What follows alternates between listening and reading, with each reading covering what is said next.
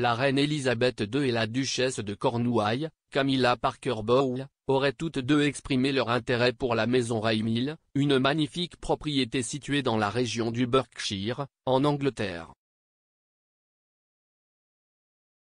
La propriété, qui se compose d'une maison principale et de plusieurs bâtiments annexes, est située sur un terrain de près de 9 hectares et offre une vue imprenable sur la rivière Thameuse et les collines environnantes. La maison principale dispose de six chambres, de cinq salles de bain et d'un immense salon avec une cheminée en pierre. Selon des sources proches des deux femmes, la reine Elisabeth II et Camilla Parker Bowles seraient intéressées par la propriété Raymil depuis plusieurs mois.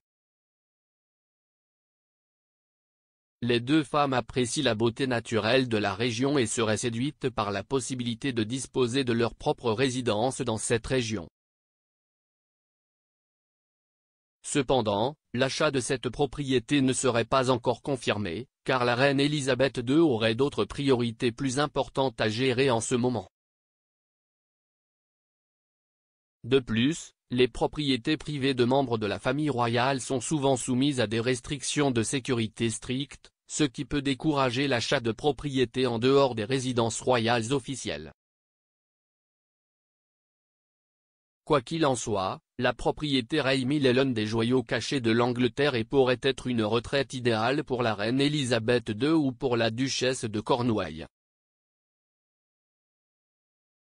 La maison offre une tranquillité et une intimité totale, tout en étant proche de toutes les commodités dont pourraient avoir besoin les membres de la famille royale. En conclusion, la propriété Raymil est une magnifique maison qui pourrait intéresser la reine Elisabeth II ou la duchesse de Cornouailles.